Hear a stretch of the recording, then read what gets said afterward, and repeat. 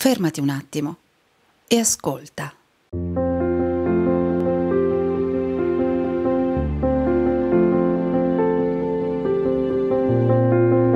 La guerra ha fatto questo, sono senza mani, senza braccia, senza gambe, senza occhi. Roundas ha circa quattro scuole complete. Ed è un esempio meraviglioso di come effettivamente un aiuto può diventare importante per una popolazione.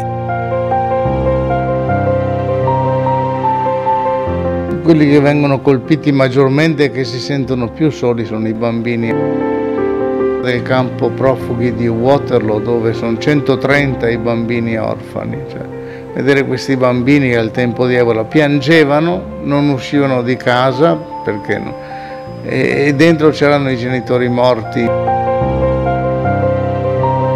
La sanità lì è a pagamento e c'è veramente bisogno di dare una mano, altrimenti tanti morirebbero. Ecco. Questi medici che vengono giù per me sono ehm, una cosa indescrivibile perché danno tanta tanta speranza e, e, e riescono anche a risolvere tanti tanti casi che altrimenti morirebbero.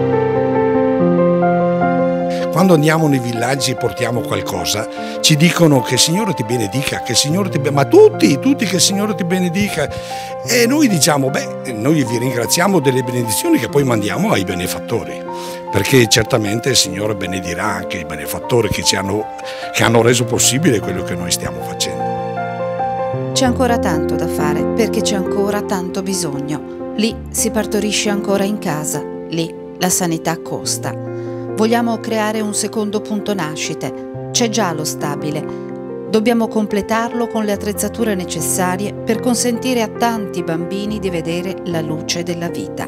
Abbiamo organizzato per questo un concerto per raccogliere i fondi necessari. Si terrà sabato 9 novembre alle 20.45 alla Chiesa Votiva di Treviso. Gratuitamente si esibiranno il coro Stella Alpina di Treviso, il coro Ana di Oderzo e con la sua fisarmonica e la sua splendida voce Francesca Gallo. Vi aspettiamo sabato 9 novembre alle 20.45 alla Chiesa Votiva di Treviso.